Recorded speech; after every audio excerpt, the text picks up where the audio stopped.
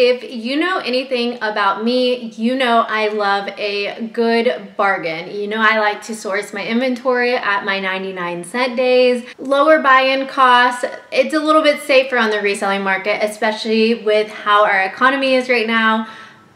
But recently I did get out of my comfort zone. I went to a chain thrift store that we have here in Texas called Texas Thrift. I know, really original name. And the prices there are definitely a little bit higher, but I wanted to be very selective in what I was finding. This thrift haul is items that I did pay up for. I will let you guys know how much I paid for each piece and then I will also put the comps for the piece in the corner. And just kind of a reminder comps are comparables. It's what other people have sold them for. It doesn't necessarily mean that just because someone sold something for $50 I too can sell it for $50 but this is me looking at it through rose colored glasses through an optimistic lens saying I paid up for this. Hopefully it will come to fruition. And it will all pay off. And this is what I will get for it. So let's go ahead and talk about these pieces that I paid up for. These are from two different Texas thrift chains. And obviously, because I am paying up for these pieces, I did have to be more selective in the pieces that I was getting. So I think I have less than 20 pieces to show you guys. Up first, we have a Jude Connally dress. Jude Connally is a great brand. I don't pay up for every piece, but I thought that this pattern, with it being an animal cheetah printed pattern, it was almost like a neutral. I do know that I personally, in my reselling career lately, have seen a slowdown in animal print, but I think this is a really classic silhouette. I think this really does speak to the Jude Connally customer. I paid $6.30 for this dress and I have a feeling it's going to sell on eBay. I have a lot of luck with Jude Connally on eBay. This is also going to fit into the mob wife aesthetic. I don't get that aesthetic, but to each their own. So I definitely do think that this is a really nice contender, a really nice dress. It's also one of those dresses that you could really dress up with a nice pair of heels or you could dress it down with a pair of fashion sneakers and like a denim jacket. So there's a lot of versatility for this dress as well. That is why I felt comfortable paying $6.30 for this. The next piece I think I may have overpaid for, just full transparency. This is J. Crew Factory, and you can tell it's the factory because of those two little diamonds down there, but I've noticed that factory versus regular J. Crew store doesn't really seem to make much of a difference. This is in a size medium, and I paid $11 for this coatigan. A coatigan is basically like a sweater and a coat. It's a really nice, fun style. I love this pink color.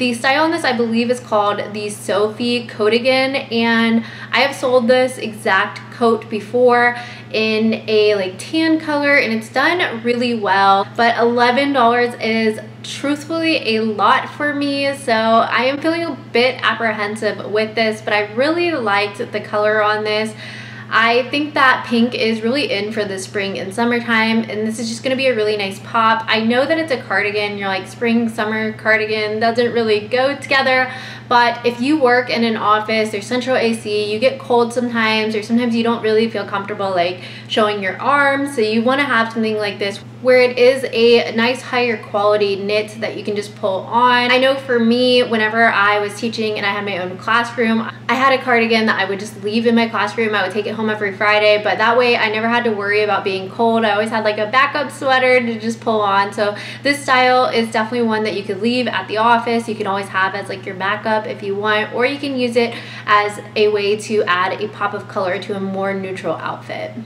The next piece that we have here is a pair of shoes. I actually don't love selling shoes. I know that's an unpopular opinion. I just think that they take up a lot of storage and I've never done all that great with shoes. This is something that I paid $8 for. These boots really caught my attention. I knew that they were quality. They have some like intentional distressing on them.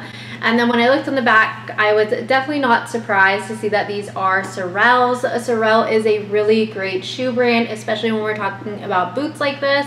These are in a size eight and a half, so a fantastic size. They're in great shape, great condition. The treads look really nice as well, so I'm very excited to get these listed and I have a feeling that these are going to do really, really well.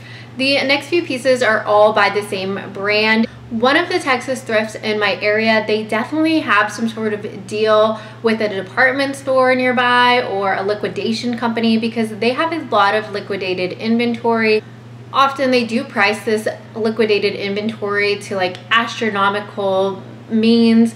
Definitely not thrift store pricing so I do have to be very selective on what I pick up but I see a lot of City Chic at this thrift store. If you guys are unfamiliar with City Chic it is a plus size brand. I love City Chic and part of the reason why I have so many City Chic sales is because I find so much of it at this particular thrift store and a lot of it because it is liquidated inventory is new with tags so I did end up leaving probably the majority of these City Chic pieces behind, but I did try and snag all of the formal dresses that were half off.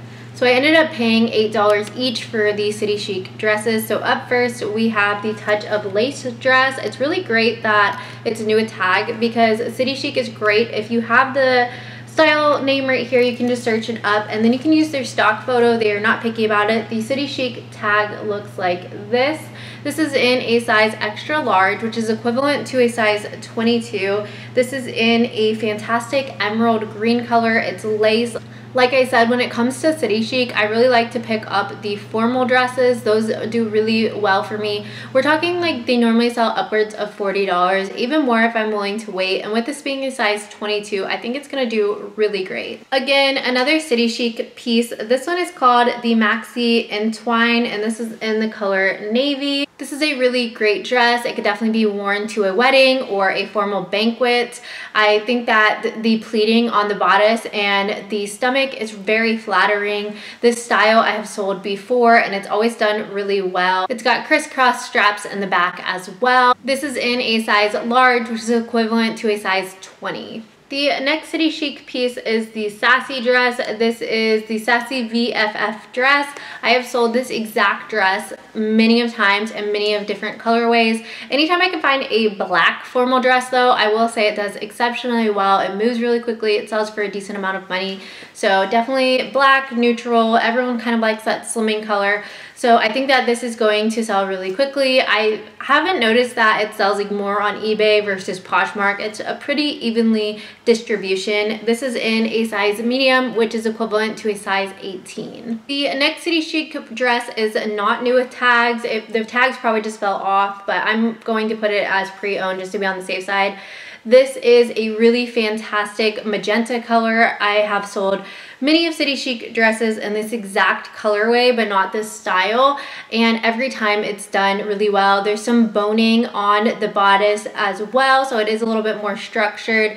There's like a peekaboo back, and then on the back, there's also these really nice little gems. So I think that this is just a fantastic dress. Again, those formal dresses are really what I find sell best with City Chic.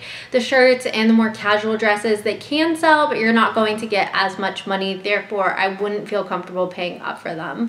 And the last City Chic dress is one that I've sold many of times. This is called the Ripple Love dress. This is one of the more popular styles. This is in a size small, which is equivalent to a size 16. This is in a great navy color. Navy is also kind of like a neutral as well.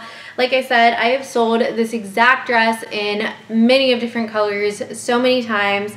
It's nice because you can kind of wear it a little bit off the shoulder so you can show off your collarbones. Just a very pretty formal dress. Moving on from City Chic, the next brand is definitely not one that I always pick up, but the material also sold me on this. The brand on this is Armani Collezioni. This is a very high-end brand. It retails for a lot, but the resale on it can be pretty meh. This is in a size 4 and I paid $6 for this, but why I wanted to get this is because it is linen. We are going into the summertime. People love linen. It's a breathable fabric. It's a nice fabric. And this is also like a nice gray green color, so very neutral. Again, like we were talking about with the J. Crew cardigan, this is just like a nice little jacket that you can throw on if you are a little bit cold or if you don't want to show off your arms. Admittedly, on the next piece, I think I got a little brand blind and I paid too much for this. I paid $12 for this dress. The brand on this is Sea New York, which can be a very good brand, but it's very style specific. This is a brand that is sold at places like Shopbop, Revolve, and it retails for like 300 plus dollars. I really like this brand personally, but I don't think this is one of their more popular styles. They're really known for like oversized baby doll bohemian-esque dresses and this is not that. This is in a size 6. It's a very nice dress. It's black. It's got a mixture of fabrics. It's like a netted fabric and then also a lace fabric as well. So it is a nice neutral dress. I just don't think that people think Sea New York whenever they see this dress. Therefore, I do think I might have to sit on this for a little while. It happens to all of us. We do get brand blind sometimes. I definitely think I'm going to sell it for more than $12. It's just a matter of how long is it going to sit around? And when you invest a lot of money into a piece, obviously you don't want the item to sit around for a while. You want it to sell quickly so that you can get your initial investment back. The next brand is one that I have sold a few times and it's been very inconsistent for me. This is a formal dress. It is by the brand Baltic Born. They are mostly known for like bridesmaids formal dresses. This is in a size small and I did ultimately decide to pay up for this because I just think it's a very pretty, very versatile dress. This is in a nice velvet. It's navy. It is a wrap style and it is also midi to maxi length. So I think with all of those style factors coming together, it's going to do very well. Therefore, I did feel comfortable paying $12 for this, but I would definitely recommend that you look up specific comps for Baltic Born because I've had some pieces sell for 40 plus really quickly and I've had some pieces that I've had to let go for like 25. The next piece is not one that I think will sell for a lot, but I did pay $4 for this because I do think it will sell quickly. The brand on this is just Boden. This is the Yellow Dot Boden, which is not the newest, but it is semi-recent, probably within like the last year, year and a half. This is in a size 8 regular, and it's just a nice blouse. I really like the pattern on this, and so I think this will probably sell for like 25 to $35. I, like I said, I'm hoping for a fast flip so I can very quickly flip that $4, like quadruple it, and then go from there. Except I have a band tee. I paid $2 for this. So again, not really paying up. I normally will only pay like 50 cents to a dollar for a band tee, but I thought this one was unique. This is in a size small. And the graphic on this is just 21 Pilots. This is a popular band. It was a few years ago. I don't think it's quite as popular, but I know that they still do have a following, therefore I do think it's going to sell quickly, probably for like 15 to $25. And another graphic tee, also in a size small, this is just Selena. I have sold many of Selena shirts before. They do really well in that they sell pretty quickly. They are definitely oversaturated, so you do have to price accordingly. And I don't pick up every single Selena. I just pick it up if I like the graphic. And the last piece I have is a pair of Alo joggers. These are definitely an older pair of joggers, but they're a really nice style. I do need to wash them because there is just like a sweat odor to them, I'll say.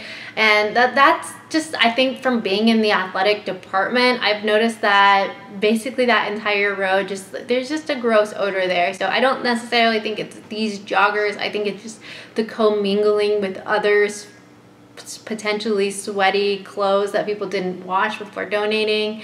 I know that's gross to think about, but that's the reality of it. So I definitely do need to wash these, but overall, I think these are a really cool style despite them being an older style. That is everything that I paid up for. If you are interested in anything by the time that you're seeing this, it will all be listed in my Poshmark closet, so you can go over there and shop. Feel free to send me a reasonable offer.